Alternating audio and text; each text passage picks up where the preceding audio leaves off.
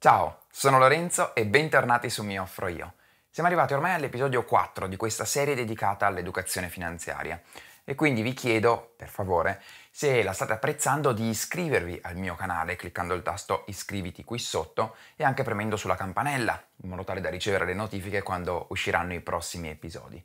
E poi vi chiedo di condividerla con i vostri amici, le vostre amiche, i vostri conoscenti. Negli scorsi episodi abbiamo parlato di come avvengano gli scambi economici e di come il prezzo dei beni e servizi venga determinato dal mercato. A volte però i prezzi possono andare fuori controllo con i fenomeni di inflazione e deflazione e abbiamo quindi visto come il ruolo delle banche centrali sia quello di mantenere stabile il valore della moneta, cioè il suo potere d'acquisto. Per affrontare il prossimo argomento, che è quello più complesso ma anche quello più importante per il sistema economico, cioè il credito, dobbiamo mettere un po' d'ordine tra i soggetti o agenti economici che abbiamo incontrato fin qui e aggiungerne di nuovi. Finora abbiamo infatti incontrato due soggetti principali, le famiglie e le imprese, che sono accomunati dal fatto che operano entrambi in due mercati economici principali, il mercato del lavoro, o il mercato del tempo, se vogliamo vederlo in ultima analisi, e il mercato dei beni e dei servizi.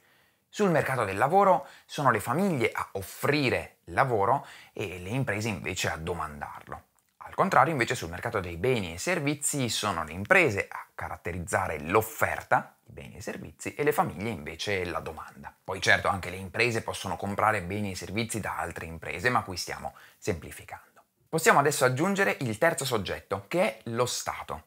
Il ruolo dello Stato nel sistema economico è forse uno di quelli più dibattuti in tutta la storia dell'economia e probabilmente anche quello alla base della fondamentale divisione tra le politiche di destra e le politiche di sinistra in materia economica, con la destra che vorrebbe meno intervento statale nell'economia e la sinistra invece un maggiore intervento statale dell'economia.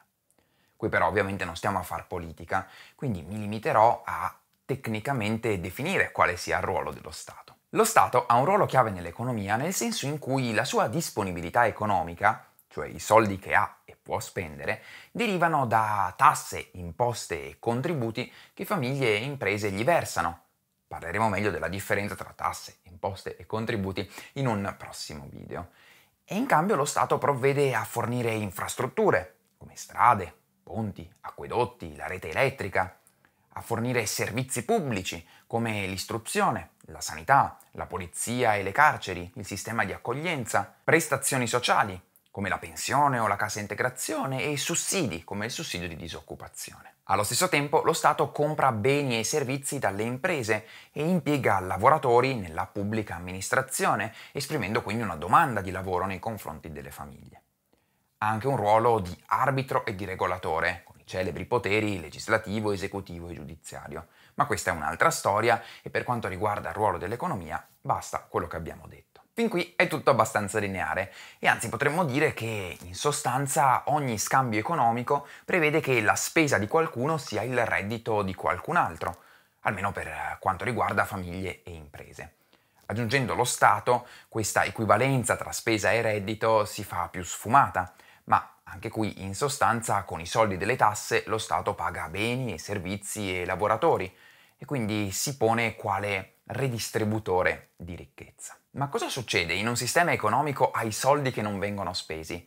O cosa succede invece quando c'è necessità di spendere soldi che non si hanno? Il quarto e ultimo soggetto che dobbiamo introdurre, e quello che ci permette di parlare di credito e di debito, è il sistema finanziario, che nasce proprio con l'obiettivo di redistribuire la moneta da chi la ha e non la utilizza a chi non la ha e ne ha bisogno. Non stiamo però parlando del tipo di redistribuzione che opera lo Stato, in cui effettivamente i soldi si spostano da una persona a un'altra, bensì di una redistribuzione nel tempo, in cui un soggetto presta del denaro ad un altro soggetto, ma si aspetta poi di ricevere indietro quanto prestato in un tempo futuro. In questo modo si evita che i soldi, la moneta, che è una risorsa finita, resti ferma da qualche parte e non contribuisca invece a quel processo di scambi economici che mette in moto l'economia, che la fa crescere e che, o almeno sarebbe l'obiettivo di lungo termine, rende la vita migliore a tutti noi. Il sistema finanziario, di cui fanno parte le banche e quelli che i giornali e telegiornali più comunemente definiscono con il termine i mercati, non è altro che l'intermediario tra famiglie, imprese e Stato. Raccoglie i risparmi, cioè tutta la moneta che famiglie, imprese e Stato non utilizzano, ed eroga prestiti e finanziamenti a chi non ha moneta ma ne avrebbe bisogno. Almeno in Italia, guardando ai cosiddetti saldi finanziari, si vede che le famiglie hanno un saldo finanziario positivo, cioè hanno dei risparmi che investono nel sistema finanziario, mentre al contrario lo Stato e le imprese hanno saldi finanziari negativi, hanno necessità di denaro e di conseguenza lo richiedono in prestito al sistema finanziario. Così come la moneta, di cui abbiamo parlato nell'episodio 2, il concetto di credito o di debito, che non è altro che il credito visto dalla persona che lo riceve, è un costrutto sociale. Nasce da un accordo tra chi lo eroga e chi lo riceve e per sua natura contiene il concetto di rischio. Il rischio cioè che quanto prestato non venga restituito oppure che ne venga restituito di meno, oppure che ne venga restituito però in un tempo molto più distante rispetto a quanto inizialmente pattuito. E di questo rischio parleremo meglio nell'episodio 7. Il rischio, inoltre, sarà tanto più alto quanta più bassa è la reputazione del soggetto a cui prestiamo del denaro. Ed è per questo motivo che se già in passato un soggetto ha dimostrato di non essere in grado di ripagare i propri debiti, beh, eh, saranno meno propensi altri soggetti a prestargli altro denaro. Oppure prezzeranno questo rischio, cioè chiederanno indietro, oltre a quanto prestato, una quantità di interessi maggiore. Ma anche di questo parleremo meglio più avanti. È importante notare che il credito rappresenta una parte fondamentale dell'economia. Limitandoci all'Eurozona, cioè all'insieme di paesi che adottano l'euro come moneta, l'ammontare totale di moneta sia cartacea che bancaria che elettronica in circolazione è di circa 10.000 miliardi di euro, mentre l'ammontare totale di credito ammonta a circa 41.000 miliardi di euro, di cui circa 13.000 miliardi in capo ai governi e 28.000 miliardi in capo a famiglie e imprese non finanziarie. Quindi circa 4 volte tanto è l'ammontare di credito rispetto all'ammontare di moneta. Pertanto, quando parliamo di soldi, in realtà per la maggior parte dei casi stiamo parlando di credito e di debito ed è importante tenere a mente questo concetto per i prossimi episodi. Solitamente tendiamo a dare un'accezione negativa al debito. Pensiamo ad esempio alla lista dei debiti di Paperino nei confronti di zio Paperone. Ma di per sé l'idea di dare o prendere a prestito del denaro non è connotata moralmente. Il credito, o il debito, è uno strumento e come tale dipende dall'uso che ne facciamo, se sia un bene o un male. Il debito buono è denaro che viene preso a prestito per aumentare la nostra probabilità futura di ripagarlo.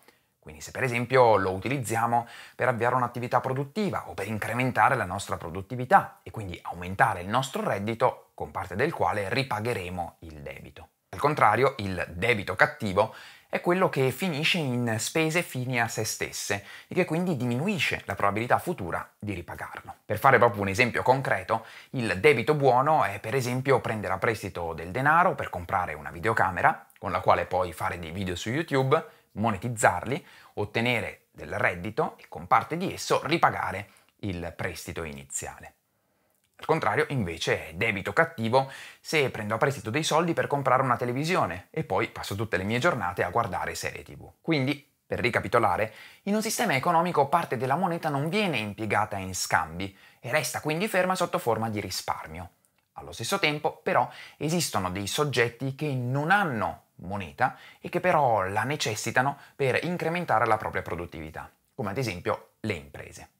Anche lo Stato può avere bisogno di moneta per finanziare la spesa pubblica e per questo motivo anche lo Stato può indebitarsi, come vedremo più avanti. Il sistema finanziario nasce per soddisfare l'esigenza di ridistribuire la moneta tra i primi soggetti, quelli che la possiedono e non la utilizzano, ai secondi, che non la possiedono e la necessitano, quindi raccogliendo ed erogando credito e creando simultaneamente il debito. I principali soggetti che fanno parte del sistema finanziario sono le banche e i mercati finanziari, ma di questo parleremo nel prossimo episodio. Quindi questo era tutto quanto volevo dirvi in questo quarto episodio dedicato all'educazione finanziaria. Come sempre vi invito a condividerlo e vi aspetto nei commenti per domande, opinioni o critiche. Noi ci vediamo al prossimo video.